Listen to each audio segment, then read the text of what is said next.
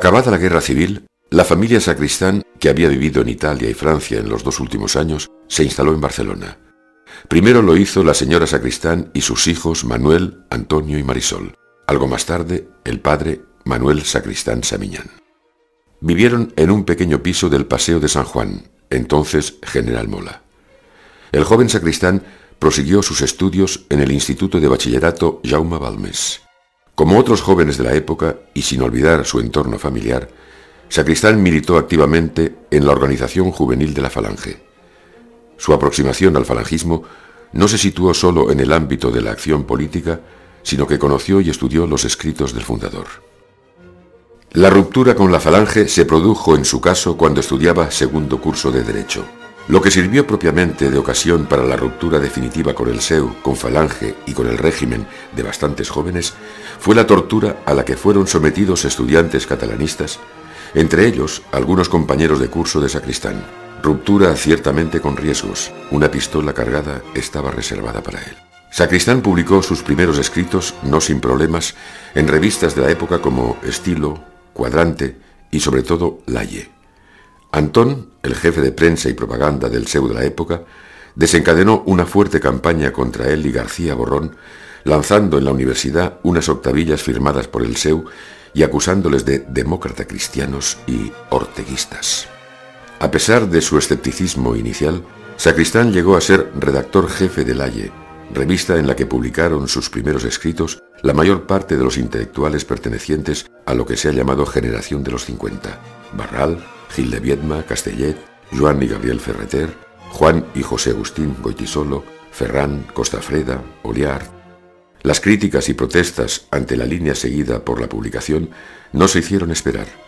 El obispado barcelonés hizo saber que había encontrado excesivamente existencialista una reseña de Gabriel Ferreter, publicada en el primer número, y una crónica de Sacristán fue tachada de volteriana y extranjerizante. Su labor en Laye fue agotadora. Director, crítico teatral, articulista y crítico literario. Algunos de sus trabajos más destacados fueron recogidos en Panfletos y Materiales, Comentario a un gesto intrascendente, en 1950, Tres grandes libros en La Estacada, en 1952, Verdad, Desvelación y Ley, en 1953, En la muerte de Eugene O'Neill, en 1954, una lectura del Alfanaui de Rafael Sánchez Arlosio en 1954, las crónicas de Entre Sol y Sol y sus reseñas de Simon Weil, Heidegger, Jaspers, Gauss, Dils y otros. Se inició también en aquella época una de las destacadas facetas de su intervención ciudadana. Sacristán impartió una conferencia en 1954 con el título Hay una buena oportunidad para el sentido común en el Instituto de Estudios Hispánicos dentro de un curso organizado por Pinillas de las Heras. Entre los conferenciantes estaban anunciados también Julián Marías, Lorenzo Gómez, Fabián Estapé, José María Castellet, Gabriel Ferrater, Miguel Sánchez Mazas y el propio Pinilla. Clave para la formación de Sacristán fue la enfermedad que padeció mientras estudiaba filosofía en estos años. En 1949 sufrió una tuberculosis renal y se tuvo que estirpar un riñón. Este hecho condicionaría su vida y su actitud ante la existencia. Durante la enfermedad y la convalescencia, leyó y reflexionó mucho sobre salud, enfermedad y el sentido de la vida. Maduró rápidamente durante aquellos años. Sus amigos fueron conscientes de ello. En el ámbito filosófico, Sacristán, que en 1946 apreciaba particularmente la obra de Unamuno, fue interesándose cada vez más por la filosofía de Ortega, de cuyas lecturas hay huellas netas en las crónicas y ensayos que escribió en aquellos años. El liberalismo de Ortega fue para él y para otros universitarios de su generación una corriente de aire fresco en la España de la posguerra. Fue también, no hay que olvidarlo, un enlace con el pensamiento de la Segunda República y del exilio, del que hay claros testimonios en sus reseñas para Laie. Nació también en esos años su interés por Heidegger, a cuyo estudio dedicó su tesis doctoral, Las ideas gnoseológicas de Heidegger, y por Russell y los filósofos del sentido común. Cuando al final de esa época, en 1954, Sacristán se traslada a Münster para estudiar lógica matemática, Sus intereses, como siempre en su caso, eran muy diversos. Heidegger, la filosofía analítica, los grandes clásicos de pensamiento, filosofía de la ciencia, filosofía del derecho y la lógica formal y su filosofía. El sacristán con intereses múltiples tiene pues raíces antiguas.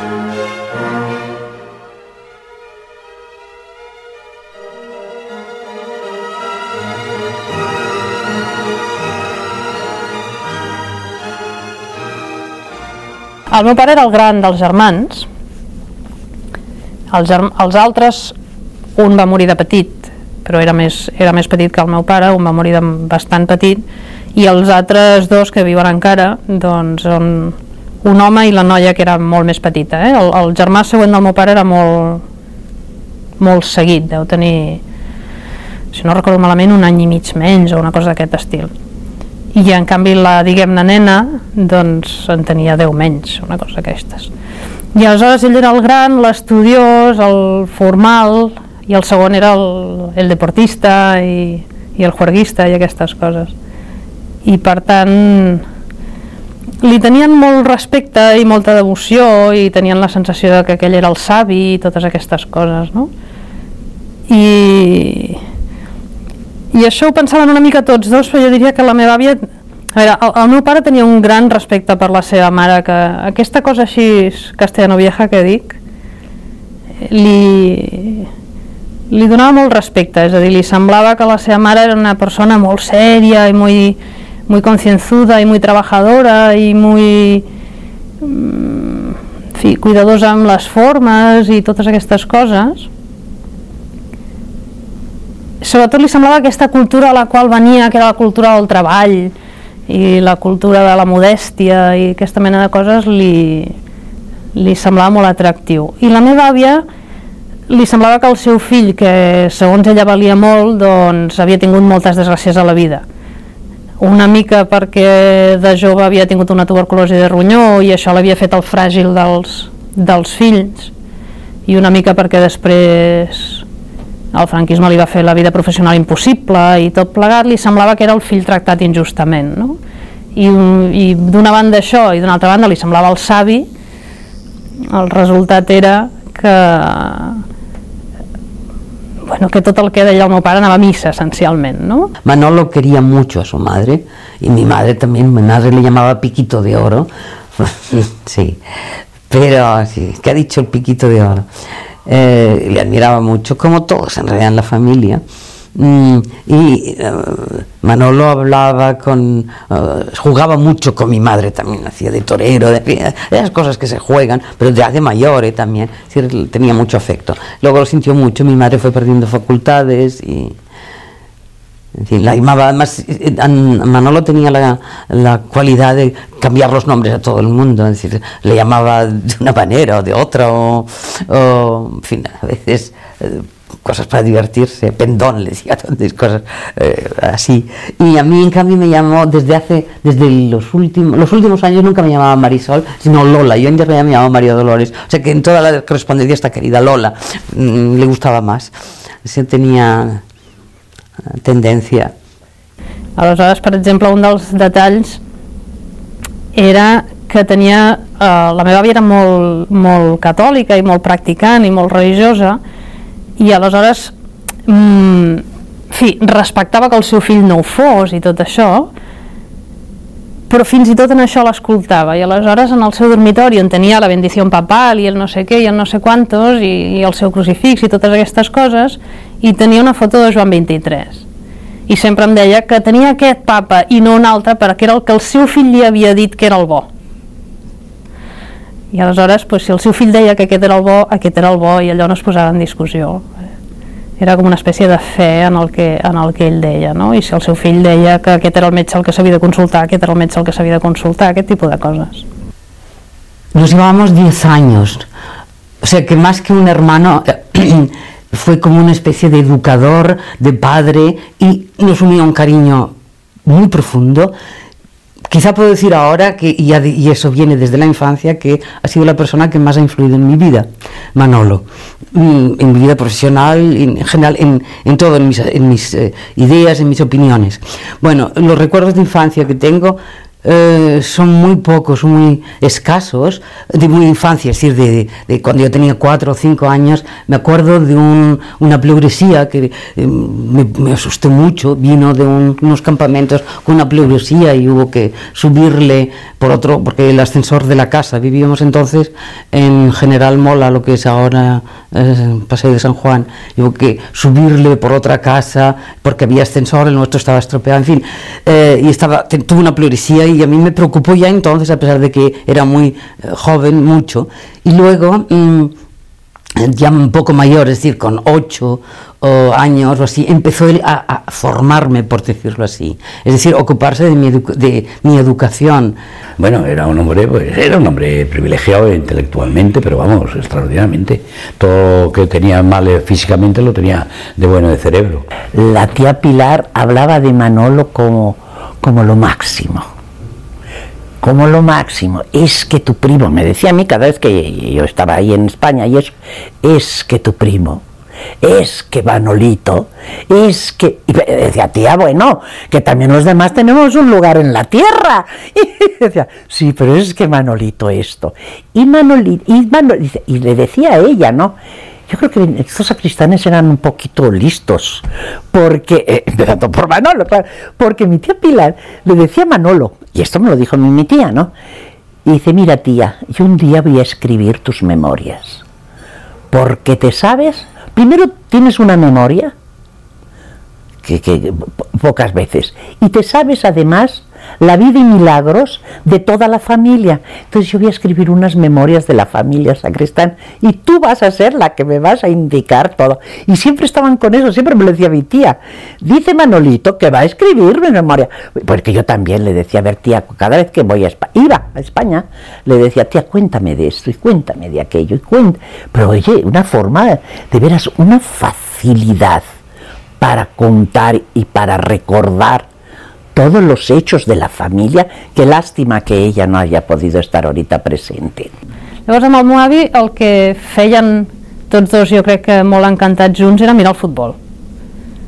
Això era una cosa que de joves feien anant directament als estadis i, i que després de gran el meu pare va decidir que aquesta era la manera de, diguéssim, de vincular-se al seu pare, no? i aleshores tots els diumenges d'aquest món baixava els tres pisos que ens separaven, quan ja vivíem a la mateixa escala, i es passaven la tarda mirant el partit que toqués a la tele, baixaven el volum, o sigui, el treien del tot, perquè deien que els comentaristes deien tonteries i no entenien res de futbol, i aleshores es posaven mano a mano cada uno con su whisky i unos cacahuetes, que eren les grans infraccions que es permetien, i es anaven comentant i anaven comentant el partit i això era una de les, dels rituals diguem-ne que els unia no sé, jo crec que la unió així de la gent de les famílies es basa en aquesta mena de petites convivències, de petites coses no? i, i amb el, entre el meu pare i el meu avi la complicitat al final era molt aquesta mi padre mm, tenía sus defectos y y había hecho sufrir en algunas ocasiones a mi madre y eso no se lo perdonaba a Manolo. Pero la relación, los últimos años fue muy buena, sobre todo después de morir mi madre. Entonces fue muy buena, les visitaba, le visitaba, vivían en la misma casa, le visitaba mm, diariamente y, y se ocupaba de él, ah, porque lo sufrió mucho mi padre. Pero hubo temporadas peores, es decir, uh, en relación con mi padre, en que se contaban pocas cosas. Nos vinimos a México y ahí sí ya se pudo escribir y por carta. De las primeras noticias que tuvimos es, por ejemplo, de la enfermedad de Manolito, ¿no? Y que entonces el tío Manolo le dijo a mi padre y a mi madre, claro, les escribió diciéndoles que por favor consiguieran unas inyecciones, una medicina este, de Estados Unidos para la cuestión de su riñón. Y mis padres, bueno, mi padre aquí trabajando no teníamos casi, pero vaya, pudo juntar el dinero para conseguir la medicina y mandársela. Y desde entonces ya supimos que Manolo, como le decíamos Manolito, ¿no? Mi padre es Manolito, y, y que estaba enfermo del riñón. Creo que fue un modelo no solamente para mí, sino para para muchos alumnos y no solamente porque yo era su hermana, eh, tengo ese, estaba tan unida a él, creo que también muchos alumnos suyos y amigos mm, ah, se han visto muy, profundamente influenciados por él. Eso lo creo yo, pero no lo sé, claro. Yo no soy completamente objetiva, porque yo tenía un gran, un gran afecto a mi hermano, una especie de eso de, de, Dios, ¿no? Mm, quizás eso es exagerado, pero sí es verdad. Todo lo que decía, decir, cualquier cosa que yo hacía o, que tenía que decidir y tomar una decisión, siempre la ponía en relación con qué diría Manolo de esto. Es la influencia fue muy grande.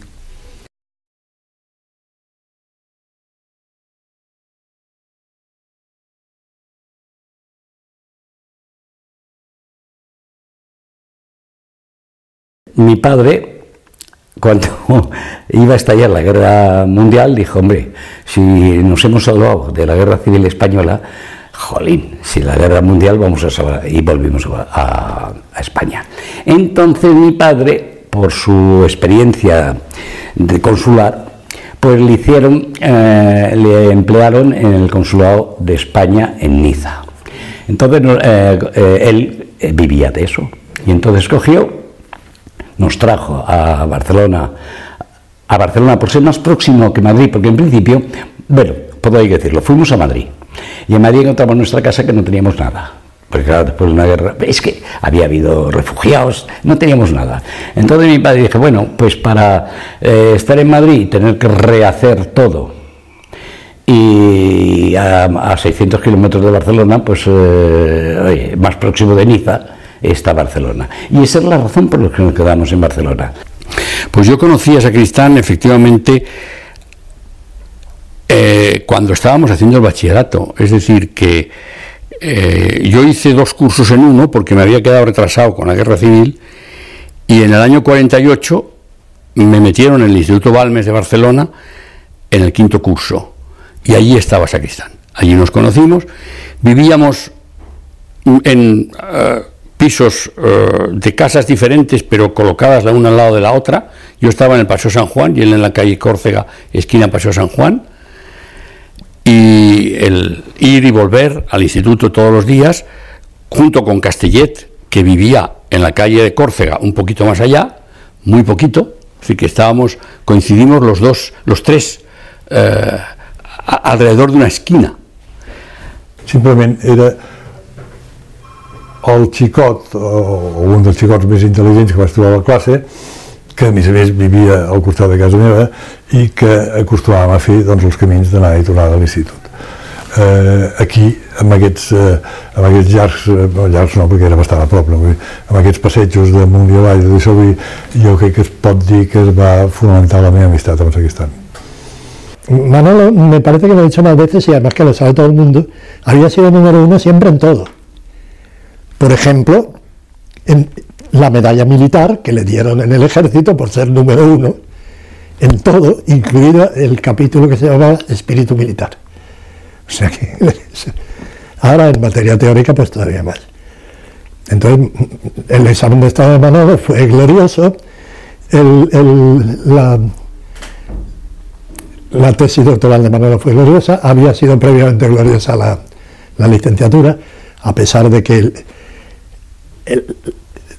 la licenciatura, quiero decir la prueba de licenciatura, porque el, transcurso de la licenciatura fue muy mal, porque le cogió con las enfermedades.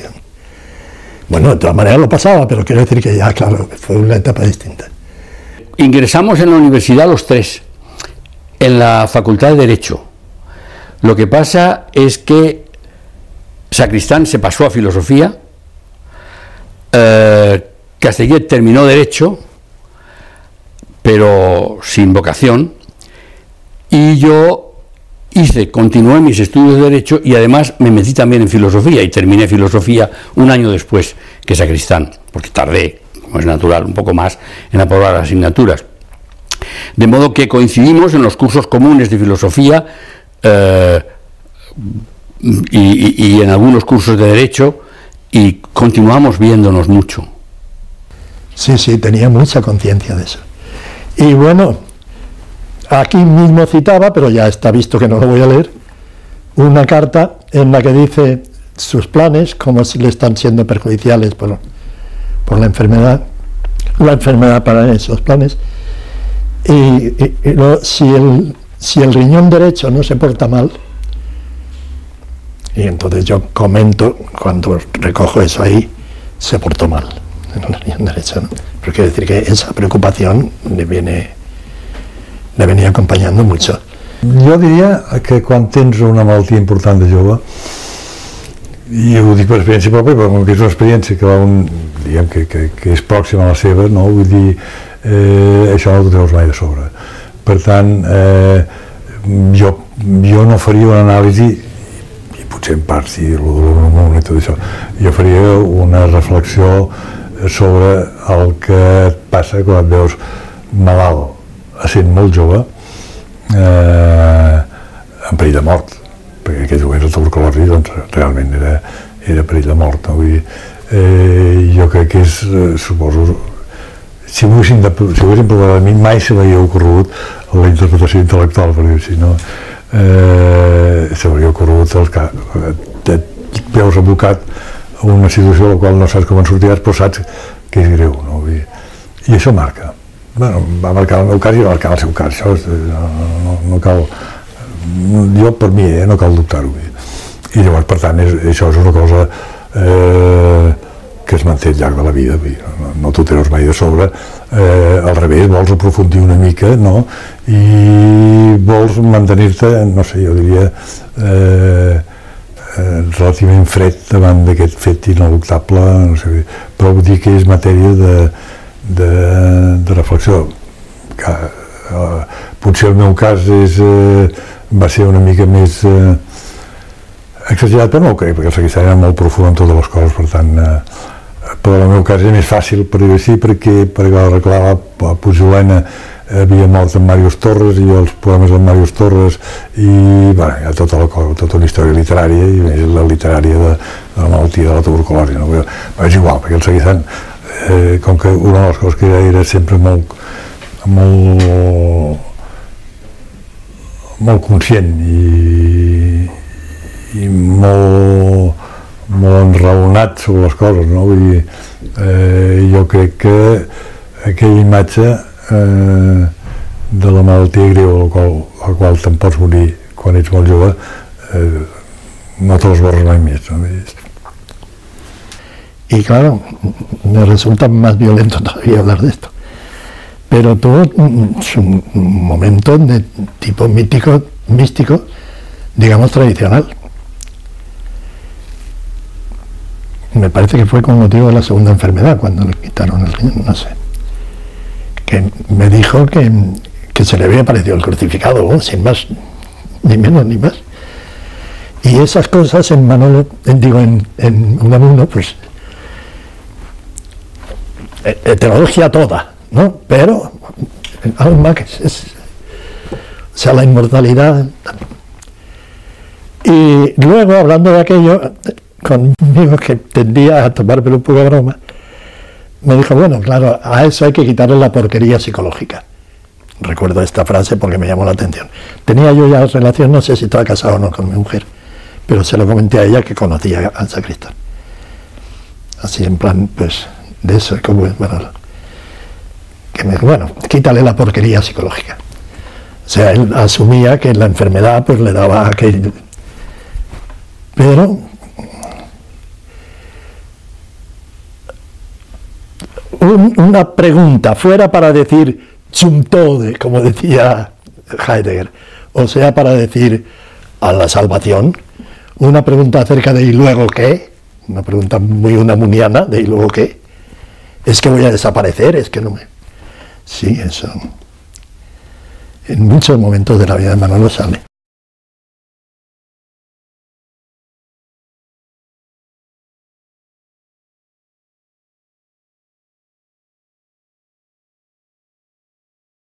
A veure, era un senyor que molt antipàtic a la major part dels alumnes que es trobaven que a les 9 del matí els podien cantar el Gar al Sol. Eh, entre aquests alumnes hi havia gent que tenia els pares a la presó, que, que havien estat represaliats, que eren republicans, etc etc. Per tant, és, eh, és una imatge que en Sacristán li va costar anys de, de superar. Però al meu entendre és una imatge mitificada perquè eh, inclús no fa molt, a Vanguardia, fa uns mesos, vull dir, a Vanguardia, no l'esmentaven amb ell, però m'esmentaven, diu, no, alguns intel·lectuals que van participar en la repressió després de la guerra i que després doncs, van ser reconeguts i no sé què. Bueno, llavors, esclar, eh, jo vaig veure que aquest, eh, que aquest repressor després guerra volien eh, que fos eh, dir que ens aquí estan, però vull dir, tornem a estar amb el mateix de sempre. Vull dir, eh, si jo que tenia 14 anys, en tenia 15, vull dir que era un, un any més gran que jo, vull dir, bueno, jo no sé, vull dir, jo li puc jurar que el Reguistan no va matar ningú, no va ficar a la presó ningú, no va matar ningú, perquè no tenia l'edat ni això. Que el falangisme aquest se li va eh, allargar eh, després de, de l'institut, sí, però quan, quan ja entrem a la universitat, que ja, ja per tant, una altra etapa, eh, la universitat ens obre un ventall de gent, d'amics, de coneguts, etc etc. I el, el falangisme del Seguistan eh, no deixa ser una cosa molt passada per un José Antonionismo eh, que estava en contra, per dir així, del, del règim, del Franco, no cal dir, eh, i no estava gens d'acord, sinó al revés, al contrari, dels falangistes que hi havia a la universitat, que eren els que agafaven i donaven pallisses als catalanistes i tot aquest tipus de coses, i estava absolutament en contra. I això ho dic no per l'amistat que vam tenir eh, durant tots aquells anys, sinó perquè és una veritat com un temple. Dir. Eh, per tant, hi ha una mitificació d'en Seguistan de dir que era...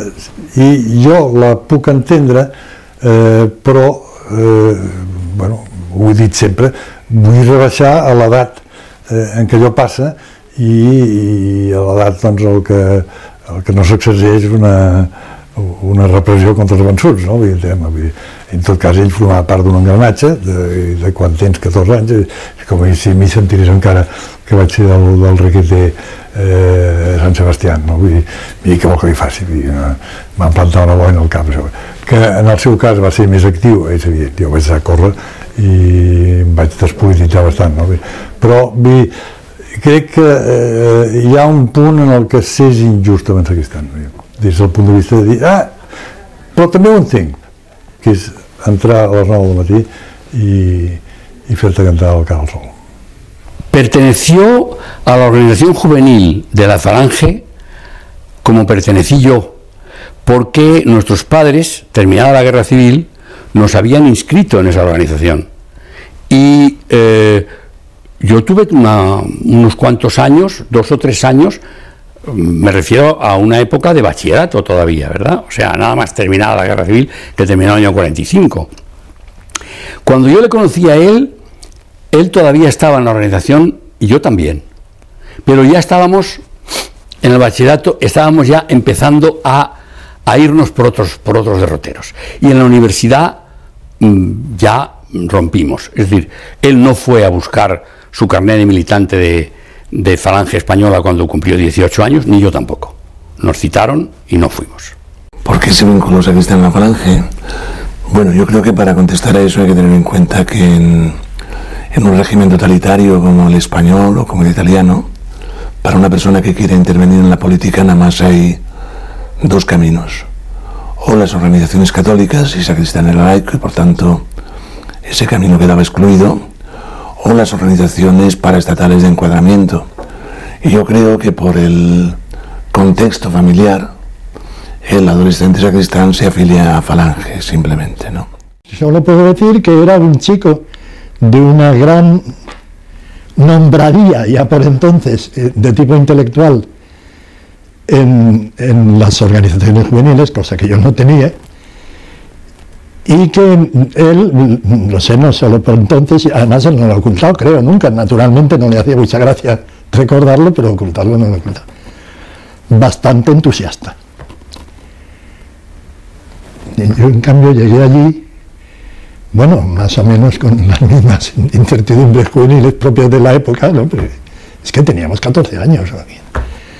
Malgrat que havíem fet tot el primer curs de dret junts i això succeïa l'any 46, és a dir, havíem fet ja la meitat del segon curs de dret, jo no havia tingut cap contacte personal amb Sacristan. Sacristan era un falangista, cosa que a mi no m'interessava en absolut, però al mateix temps era un estudiant que era el número 1 en el nostre curs, eh, en aquesta època, molt jove, Sacristan destacava per la seva intel·ligència, per la seva capacitat de treball, però jo no havia tingut cap contacte amb ell. El primer contacte va ser perquè el va iniciar ell i va ser l'única persona que em va voler preguntar res. És dir, el clima de covardia i de por que hi havia entre els estudiants era tal que ningú s'atrevia a parlar amb mi i tampoc amb els altres que havien passat per aquesta detenció grotesca i lamentable eh, s'atrevia a parlar amb nosaltres. I la Cristana va dir, escolta, m'interessaria que m'expliquessis què t'ha passat. ¿Por qué salió? Bueno, también eso tiene que ver con las cosas que hizo en Falange, ¿no? Eh, Sebastián me contó una vez que él, eh, junto con otras personas que militaban en el aparato cultural de la Falange Universitaria, un compañero de Madrid, otro compañero de Santiago de Compostela, habían hecho algo que no lo recuerdo con exactitud, pero me parece que consistió en un intento de contactar con trabajadores anarquistas que fue descubierto. O sea, por supuesto era fuera de la línea oficial de Falange. Eh, y bueno, entonces en un momento determinado él recibió la, la llamada telefónica de su compañero de Madrid, que era el de más alta jerarquía, diciéndole que había sido censurado por el jefe nacional. Mm, yo no sé interpretar jefe nacional, pero podía ser el ministro o el propio Franco. Que delante de su casa había estacionado un coche de la policía y que pensaba suicidarse con gas, cosa que hizo. Eh, Sacristán no pudo contactar con el estudiante de Santiago y en cuanto a él se enteró al cabo de unos días que la organización falangista universitaria en la que militaba había decidido condenarle a muerte por traidor e incluso había encargado a una de las personas de la organización esa ejecución, digamos. Él esperó unos días y viendo que no ocurría nada, una mañana se decidió a visitar al- a la persona encargada de matarle, entrando en su casa a primera hora de la mañana, abriéndole una criada, etcétera, poniéndole una pistola en la cabeza y diciendo, ¿qué pasa? El otro le dijo que, que no pasaba nada, que aquello había sido una barbaridad, que él, que era una persona de jerarquía, había aceptado el encargarlo, el encargo de ejecutarle para calmar a los demás y que no pasaría nada. Y la ruptura se produjo así. hi va haver un assassinat d'un falangista aquells anys poc anteriors eh, a la muntanya de Montjuïc i llavors jo vaig recordar que en el bar de la universitat mm, que era un subterrani a prop del claustre de la Facultat de Dret, jo havia vist un dels eh, tipus més visibles de, de les autoritats del seu descordar-se l'americana i ensenyant una cartutxera amb pistola, assenyalant-la va, públicament en allà al bar de la facultat, va dir «Esta és per a Manolo Sacristán». I vaig pensar, ostres, Això seria finals del 46, principis del 47? Sí, no, no, finals del 46. I jo doncs tinc la impressió de que aquest record el, el puc fixar a finals del 46 perquè va ser a meitats del 46 quan hi va haver aquestes bombes i les nostres detencions, el petit interrogatori de què us he parlat. I això devia ser poc després, és dir, que Sacristana es devia separar de Falange eh, durant l'any 46, abans de final del curs, és a dir, abans de juny. En el caso de, de Manolo Sacristán, la ruptu- en el caso de casi toda aquella generación, eh, que hay una beta falangista, que por ejemplo ya a mi generación no le toca, es decir, mm, ni siquiera somos ya del SEU, ni siquiera entramos en el Frente de Juventudes, Eh, sin embargo, para la generación de Manolo Sacristán, que es una generación que nos llevaba mm, bastantes años, ahora se nota menos, pero entonces se notaba mucho más, eh, era obligatorio, SEU, Frente Juventudes, Falange, todo esto. A mayor abundamiento, su padre era un funcionario, era un, era un hombre de Falange. Y esto yo creo que eh, en ese mundo mm, formaba parte de los vencedores. ¿Cuándo empieza el proceso de ruptura? Yo creo que cuando empieza el enfrentamiento con la administración más evidente, quiero decir que es eh, que el proceso de conciencia y el proceso de rechazo frente a la administración, incluso por cuestiones tan obvias como, como la literatura, por esto. Yo creo que esto se produce mm, en el mismo periodo universitario. Hay una especie de, de leyenda que yo creo que puede ser verdad, y yo estoy convencido que debía ser verdad, que hoy mm, toma avisos de leyenda, esto de que eh, Manuel Sacristán mm, era de los que iba a la universidad con, con correaje, de falangista, quiero decir. Yo lo creo más que probable porque muchos iban a la universidad en aquella época con correaje falangista, empezando por los profesores que iban a la universidad con correaje falangista. Pero yo creo que ya en el final del, del periodo universitario hay ya una corriente, todavía se mantiene una corriente josé antoniana, orteguiana josé antoniana en el caso de Manolo Sacristán, pero yo creo que empieza un proceso de desplazamiento que, en- la guía se hace absolutamente evidente. No solamente Sacristán pasó de ser un falangista, primero infantil, luego disconforme, yo diría que nunca convencido del todo, y además incluso piadoso desde el punto de vista católico. Sacristán, de nosotros tres, ha sido el único que ha tenido verdaderamente una, una especie de tendencia religiosa que los demás no hemos tenido en- esa intensidad quiero decir, Castellet o yo. Eh, pero Sacristán mm, necesitaba una fe interna, necesitaba una disciplina intelectual y la verdad es que pasó de la Iglesia Católica del falangismo tibio al comunismo, cosa que tampoco hicimos ni José María Castellet ni yo. Ahora, lo que sí he dicho ya varias veces y reafirmo ahora y probablemente lo voy a releer otra vez, es que estuvo siempre que yo le he conocido en una actitud muy crítica.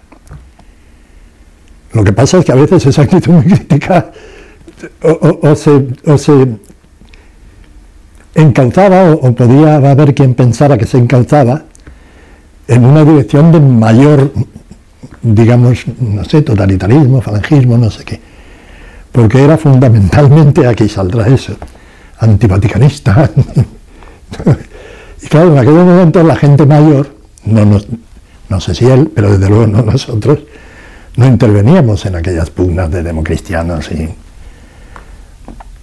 y primeros opusianos, también algo de eso saldrá aquí, pero quiero decir que no, no, no me atrevo a eso. No hay en la correspondencia suya, no hay ninguna referencia a- es más, ni tampoco al hecho de que hubiera entrado en lo que entonces se llamaba la falange grande, la falange de los mayores. ¿no? Tampoco de eso, y por supuesto menos de su salida.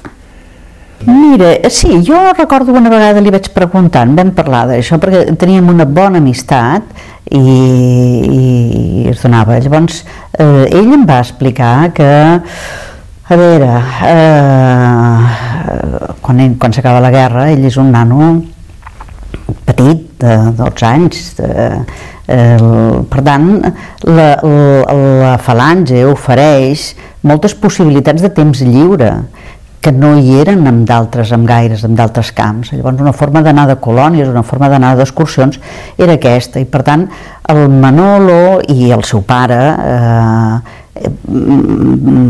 tenia amistats i, i es, no sé si era falangista o no, però vull dir, en tot cas eh, connectava amb aquest, amb aquest àmbit.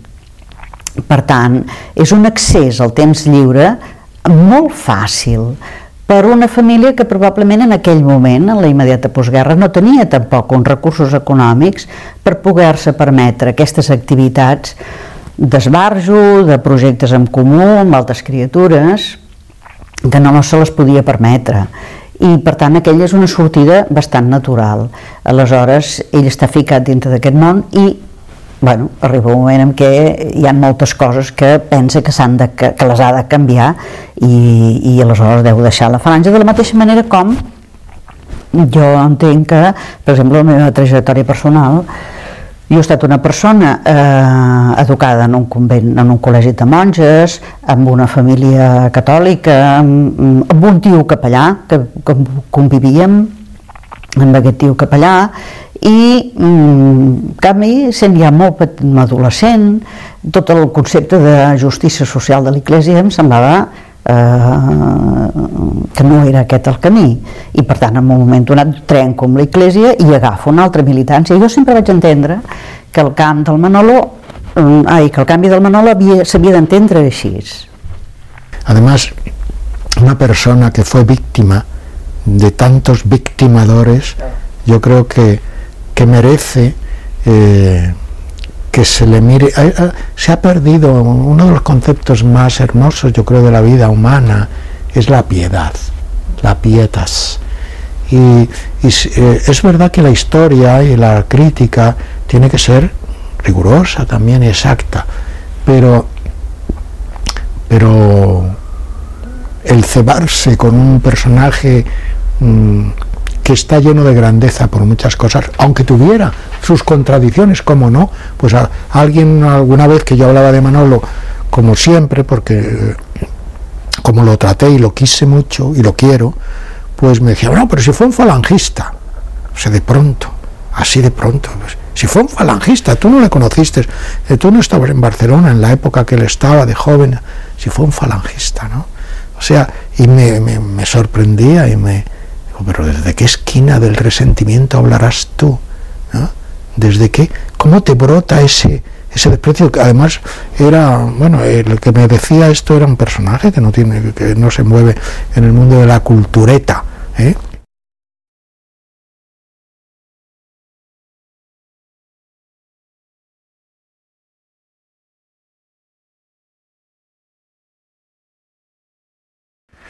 Por otra parte, las reuniones no se, teñían a la revista. Una temporada dedicamos parte de ella a que cada uno informase de lo que estaba leyendo, con lo que lográbamos multiplicar por tres o cuatro la capacidad de lectura singular y enriquecer así sus frutos. Así maduró Manolo su cambio de filosofía, todo el mundo sabe que él empezó a estudiar Derecho, ¿no? pero pasó luego a filosofía. Y como además de estudiantes vocacionados éramos chiquillos en torno a los 20 años, nos dábamos a todo tipo de humor, como la tarde que jugamos a buscar la certeza, prescindiendo de toda evidencia inmediata. O sea, una especie de cartesianismo renovado, ¿no? Hasta que Castellet anunció haber dado con una, no hay infierno.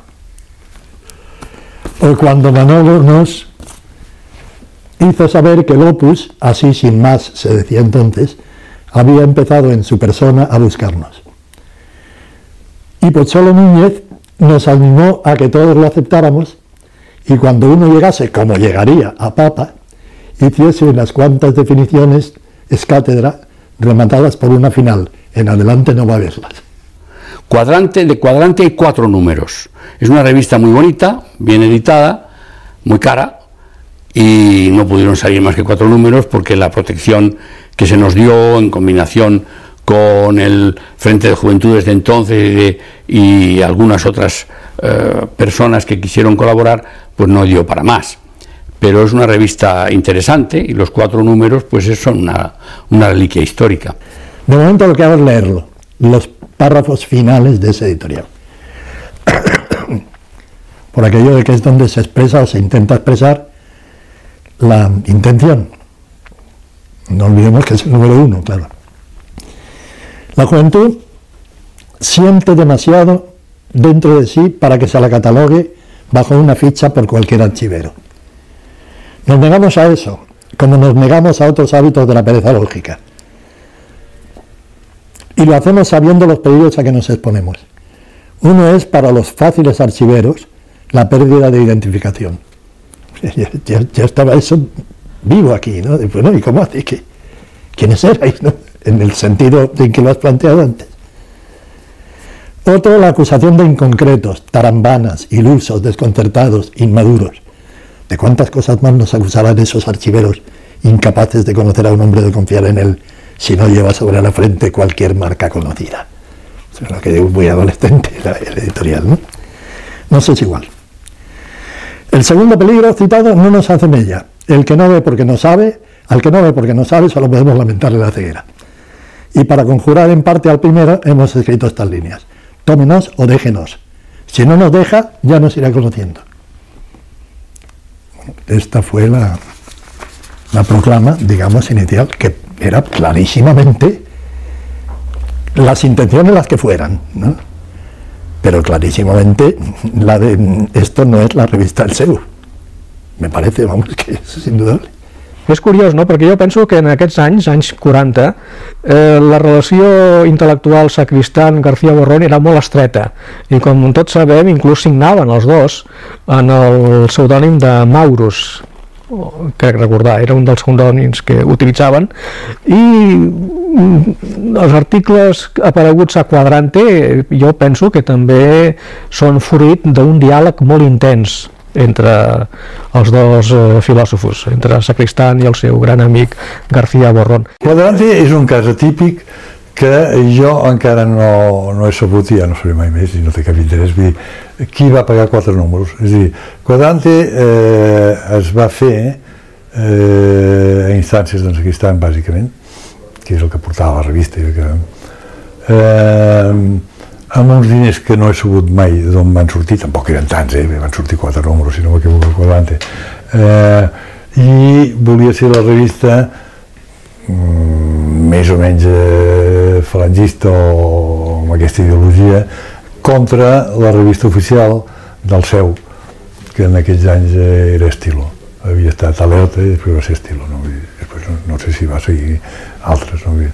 Per tant, i, i, i ell, la, ell la portava, ell eh, va agafar, bueno, ens va demanar uns, alguns amics, col·laboradors, un amic nostre, molt amic, que també era veí, eh, que era en Jesús Núñez, eh, doncs eh, també va col·laborar eh, bastant i aquest va ser un primer projecte. Pero es que Cuadrante fue la, el sustituto, fue el sustituto, hay que, me parece que debemos reconocer, alevosamente infiel a sus aparentes comienzos, por lo menos a los comienzos aparentemente aceptados, que era que saliéramos, pero que siguiera siendo una revista seu, cosa que de hecho no hacíamos. Ahora, ¿cómo se pudo hacer eso? No digo en, en un cómo se pudo en el sentido de cómo puede presentarse razonablemente y cómo pudo planearse razonablemente, sino en el sentido de cómo pudo materialmente, cómo pudo de hecho. Pues eso creo que lo he dicho varias veces y aquí más adelante saldrá seguro, por una razón bastante evidente entonces. Es que, bueno, en España siempre hay bastante de eso, pero en algunos momentos más que en otros y en aquel desde luego mucho. Nos olvidamos de que en España, por muchas censuras religiosas o políticas o lo que quiera que haya, hay otra cosa muy distinta que se llama la relación familiar. Y el señor Sacristán padre era el administrador del SEU, del Instituto Universitario de Taller Valeres. O sea, era el amo de los fondos, sencillamente. García Borrón me sorprendió cuando yo ya era bastante mayor, un día en una conversación que tuve con él. Claro, yo conocía a Manolo, ya tenía, ya tenía, ya era mayor. No nunca supe eh, cómo había sido el Manolo Sacristán de adolescente, de joven, etcétera, etcétera. Y un día García Borrón me dijo, eh, sonriendo, la idea que, todos vosotros tenéis de Manolo Sacristán está equivocada. Manolo Sacristán ha sido siempre un irracionalista. Empleó esta palabra, irracionalista. Y yo le dije, si me tuvieran que pedir un ejemplo de irracionalista, el último que hubiera puesto en mi vida es Manolo Sacristán. Y él me dijo, bueno, eh, de todas maneras, tú no has conocido a Manolo, a, al Manolo Sacristán que hemos conocido otros. Santa Fe, 25 de julio, nada más, yo he añadido 47. Alférez, a leer una carta seria de los sargentos que suscriben. La gravedad de su tema explica su tardanza. ha sido necesaria su maduración para poder resumir lo que creemos ser la tesitura de todo el grupo de cuadrante. Lo que creemos ser la tesitura de todo el grupo de cuadrante. Lo que creen ser ellos, sino lo que es la tesis. Rayita. Cuatro tíos y cuatro posiciones distintas. Lo acabamos de examinar cuidadosamente y así resulta. No me lo explica, pero no puede ser más tajante, ¿no? Siguiente rayita. Tres tíos, Pocholo, José María y yo, hasta los cojones del mundo y de la vida. No hay más, ¿eh? O sea que... Otro, final. Tres tíos, Pocholo, José María y yo, que adoptan la decisión de no seguir haciendo cuadrante. Llámale sensibilidad espiritual y es posible que aciertes. No creas que uno haya arrastrado a los otros. Cada uno ha seguido diversas vías para llegar al nirvana este. Tú quizás sigas optimista, alegre y tal. La Rioja dinamiza, dinamigenia a los hombres, pero Barcelona y Santa Fe los trituran. Tenemos ganas de cambiar contigo impresiones, hablando en la esfera, no, en la, hablando en la espera, apretones de manos de. O sea, esto es la despedida del cuadrante.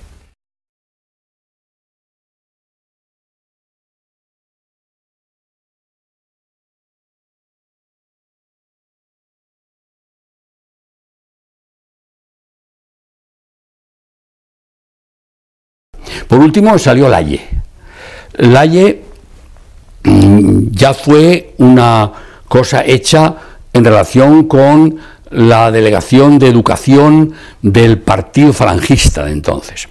Había entonces un delegado de cultura del partido que, eh, llevaba la, delegación de, de educación, donde estaban todos los maestros y todo esto, que tenía dinero para hacer una revista y la hicimos con él.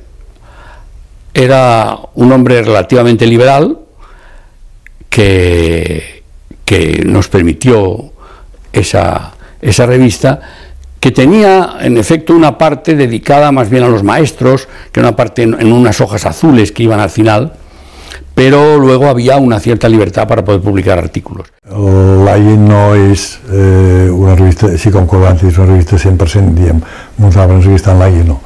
L'AI, ell hi va ser perquè tenia aquests amics, però de fet els que ho van portar no, no... Ell va estar, com jo mateix, vull dir, va estar a la, a la, a la redacció, dir, i va col·laborar eh, i és una revista que ens vam prendre amb un interès i un entusiasme fins que eh, el número 23 ens eh, vam plegar. Perquè ens van dir que havien de passar per censura que fins aleshores, com que era una revista de la Delegació d'Educació eh, no passaven per, per censura el moment que ens que passaven per censura ja vam evitar la baralla perquè sabíem que, que estava condemnat Nosotros, claro, nos movíamos en, en un régimen dictatorial que nos permitía hacer unas cosas y otras no, y de vez en cuando nos pegaba un palo. Pero teníamos conciencia de que aquello había que cambiarlo y que éramos eh, absolutamente enemigos del, del sistema. Lo que pasa es que uno tiene que hacer lo que puede hacer, lo que le permite eh, la organización que entonces imperava en el país. Llavors allí circulava literatura, circulava tot el que hi podia haver a l'Espanya d'aquells moments, més alguna cosa que ens entrava de trascantó perquè algú feia un viatge perquè venia no sé què, i, eh, i jo me'n recordo sí, casos concrets eh, insignificants d'altra banda, no? Gil de Viembe, que, que havia estat a Anglaterra, em va portar doncs, l'Axel Castle de l'Edmund Wilson, dient, mira, parece que esto te puede interesar porque me han hablado muy bien, no sé què. Hi havia realment un intercanvi de, de llibres que feia que les lectures no poguessin ser identificades, a part de les que hi ha ressenyes a, a l'AIE, no? Sinó que eren generals del que hi havia en aquell moment a Espanya, eh? Més el que es podia treure de l'estranger, no? Que era molt poc en aquells moments. Pero eso es el resultado de la época. Nosotros habíamos roto, pero no habíamos roto. Es decir, no habíamos ido a buscar el carné, pero tampoco se nos había pedido, se nos había sancionado por ellos. A mí se me había cerrado estilo, pero sin embargo, pues nadie nos dijo que no podíamos escribir en Laye porque se nos había cerrado estilo. Eh, la- el fascismo español, afortunadamente, para los que no estábamos de acuerdo con él, eh, no ha sido una organización tan rígida como podía ser el nacionalsocialismo alemán o incluso el fascismo italiano, que era mucho más exigente. Esto fue un, un francofascismo eh, descafeinado, muy duro políticamente, eh, con los disidentes, pero a nosotros la verdad es que la Brigada Político-Social debía tenernos como mm, jovencitos eh, mm, disidentes a los que hay que dejar un poco mm, y no meterles mano de momento para ver qué pasa me imagino. Yo creo que a Sacristán no se le puede separar de la generación. Es decir, eh, eh, esa generación que hace el AIE eh, es muy importante, entre comillas, es muy importante para nosotros, es muy importante para la cultura española. Porque, en primer lugar, es muy autónoma respecto a lo que se hace en Madrid. Hay un nivel bastante más alto, y esto lo explico en el libro del maestro en el Erial, hay un nivel bastante más alto, es decir, gente como, como Manolo, como, como Gil de Viedma, como Ferraté, eh, como Castellet. Es decir, no había equivalentes eh, culturales en el Madrid de la época. y los que había eh, tenían un nivel, utilizando una terminología de la época y despectiva, más mesetario. Y yo creo que Manolo, en ese contexto, el sacristán en aquel contexto, eh, era de alguna manera primo interpares, pero mm, el nivel cultural era muy alto y esa generación a la cual eh, pues debemos mm, algunas algunas de las pocas cosas que debemos a alguien. Yo creo que mm, esa etapa de, de, de Manolo Sacristán como, eh, como de alguna manera también factotum del, del Aye significa una inclinación cultural o culturalista que posteriormente no tendría tan, tan afincada en, una personalidad como los Sacristán, es decir, la inclinación política limitaría luego muchas de sus inquietudes eh, culturales. Me estoy refiriendo, por ejemplo, a un texto, creo recordar el texto sobre Alfanwi, eh, algunos otros textos eh, de, crítica literaria. luego haría otras cosas por por eh, modus vivendi, es decir, los, magníficos prólogos a Goethe i a, a Heine. No? Eh, jo, fonamentalment, de la col·lecció Laie, els articles de Sacristan que a mi sempre m'han interessat més són els següents. Una ressenya ampla, llarga, que va fer de la novel·la d'Alberto Moravia Il conformista, Laie 18, març-abril del 52. I allà en aquesta peça, en aquesta ressenya, apareix una idea que preocupa molt a Sacristan, en les seves pròpies paraules. La muerte de perfección en el arte es la más sobrenatural de las muertes. Eh, Sacristán en, aquell, en aquells anys es mou en un territori d'ideologia literària, artística, estrictament o fonamentalment formalista, però és capaç de donar-se compte que un formalisme radical comporta el buit a la llarga.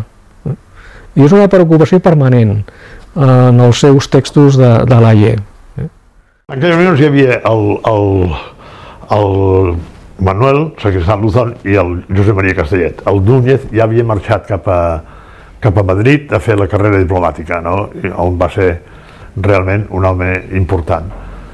I allí hi havia, per una part, la gent que estava en prop de, de l'assaig i la filosofia, com era el Joan Ferreter, per exemple, i per altra part hi havia els lletraferits, que érem nosaltres, que en deien els poetes una mica, el Carlos Barral, l'Albert Oliart, l'Alfons Gustafreda, alguna vegada més tard, una mica més tard, hi havia el Jaime Gil de Viedma, que va arribar una mica més tard que nosaltres, era un any més jove, i a més havia fet els últims anys de la carrera a Orense i Salamanca, i es va incorporar una mica més tard. La gran amistat amb Barral va venir una mica més tard, per exemple, no? I eh, realment aquestes eh, reunions eren reunions eh, purament intel·lectuals, eh?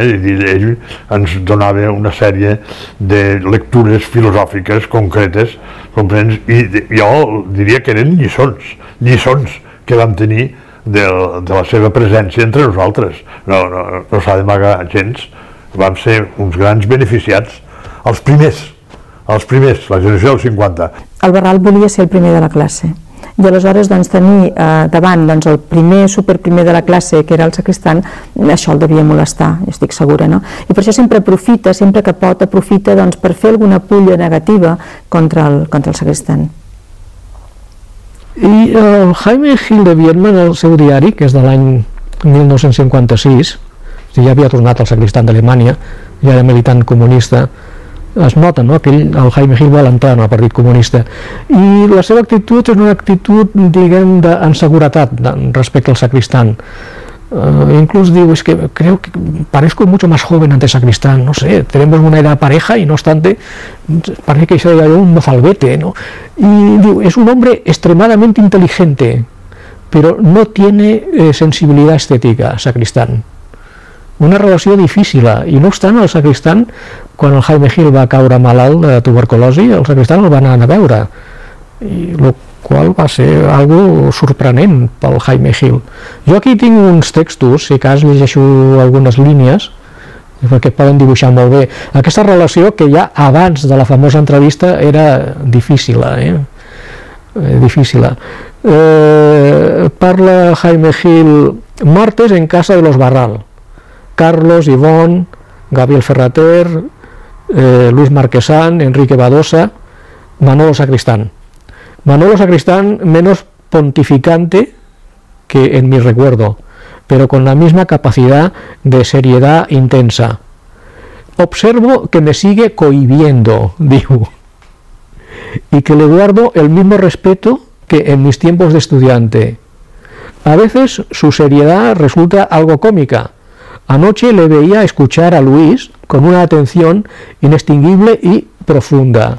A mí que cada vez me interesa más la figura de Sacristán y menos algunas de las o muchas de las reflexiones de, de Manuel Sacristán, eh, por eso mismo considero que eh, me, fascina a veces el personaje por su, por su carácter entero, ¿no? por su, su ausencia de flexibilidad, porque eh, siempre, cada vez que asume una posición ideológica, la asume hasta las últimas consecuencias.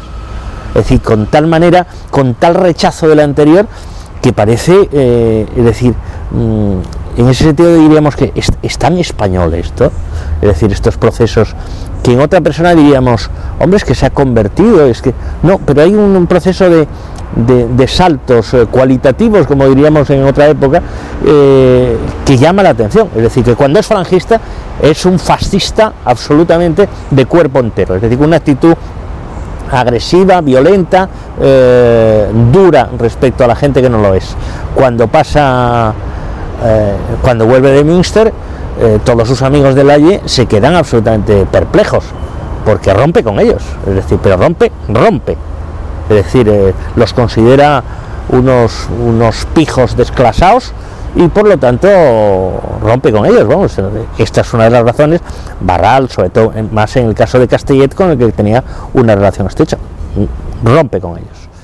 Això, clar, sospita també aquest distanciament, que fa sospitar aquest distanciament del que estàvem parlant, no? que hi ha un moment en què el segristan doncs, deixa de ser doncs, el, el, el gurú, la referència del, del grup. També un altre aspecte, que és que jo crec que el, mm, que el Saquistan doncs, va tenir una vida doncs, poc frívola, diria jo, no? No era una persona doncs, d'anar a Boccaccio, mm? em fa l'efecte. I, uh, I el grup doncs, uh, té aquest, aquesta vessant de, de goig divin que em penso doncs, que amb el Saquistan no li tenia que interessar massa. Bé, perquè clar, pel Gabriel, el Manuel sempre era una mica dogmàtic, no? En la mesura en què el Gabriel no era tant, però a la vegada hi havia una mútua fascinació. Jo crec que eren els dos persones que més entenien de literatura en aquell moment.